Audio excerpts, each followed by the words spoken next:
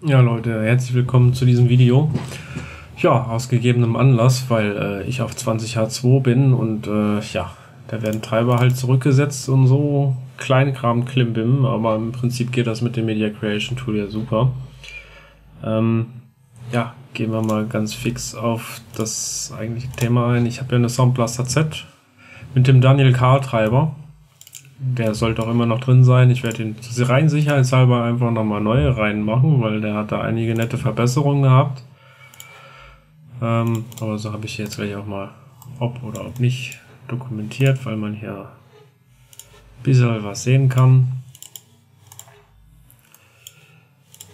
Äh, ich packe den Treiber-Link in die Videobeschreibung zum Daniel K. Treiber. Jedenfalls habe ich dann halt gerade frisch veröffentlichte Videos halt mal Probe gehört und äh, ja, wenn äh, der Kram hier so an ist, standardmäßig, dann passieren natürlich soundtechnisch ganz schräge Sachen und ja. Gehen wir doch mal diese Creative Sound Verschlimmbesserer mal durch. Also, das sind hier alles so Sachen, die sollte man mal deaktivieren. Smart Volume oder SVM ist übrigens das, woran man auch erkennt, dass eine X-Fi auch eine richtige X-Fi ist und keine sogenannte Fake X-Fi ob man das haben möchte oder nicht. Also ich lasse den Kram lieber besser aus. Gefällt mir nicht, ist halt auch wieder ein Verschlimmbesserer. Ja, ähm, mikrofontechnisch Crystal Voice äh, benutze ich nicht, weil ich habe hier mein Mischpult mit Phantomspeisung. Ja, ob man das so unbedingt braucht, hier den Scout-Motor, also entweder ist die Soundsache im Spiel gut gemacht mit der Ortung oder eben nicht. Ausprobieren kann man es aber natürlich mal, ne, zum Daddeln. Ja, ich habe meine Kopfhörer hinten direkt an das Soundblaster Z angeschlossen, entsprechend Kopfhörer.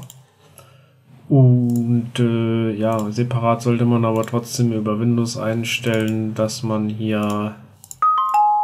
Nein, das wollte ich jetzt eigentlich nicht. Dankeschön. Aua. Lautsprecher konfigurieren auf Stereo. Weil sonst passieren da auch schräge Sachen. Ja, Stereo Direct oder so gibt es jetzt gerade hier nicht. Braucht man aber auch nicht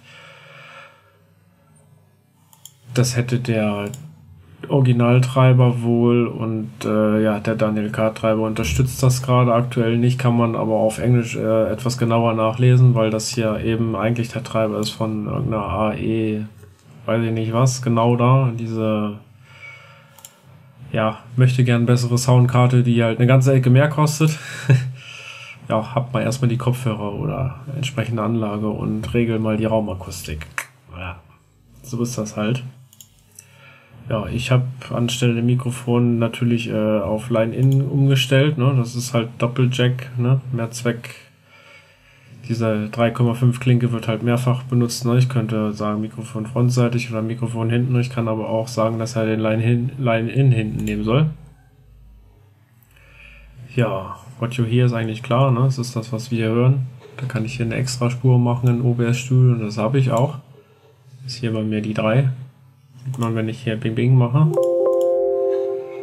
Dann habe ich den Desktop oder auch Spielsound halt nochmal separat zu meiner direkten Abmischung über OBS Studio für Streaming. Ich nehme vier Spuren auf. Also ich nehme auf Spur 1 auf den Desktop oder Game Sound und äh, mein Mikrofon natürlich mit Dacker wegmischen. Ne? Mach das alles alles leiser, außer meine Stimme. Und äh, ja, dann habe ich in der zweiten Spur, denke ich, äh, nur mein Mikrofon und irgendwie so. Und irgendwo habe ich nochmal extra den primären Sound halt, also Desktop und Gaming. Und dann habe ich halt nochmal What You Hear halt extra auf Spur 4 und das ist dann das hier. Und ja, Anyway, Equalizer, ja gut, mit Kopfhörern könnte man es ruhig machen, könnte man das Ding benutzen, aber viele Möglichkeiten bietet es ja eigentlich jetzt nicht so.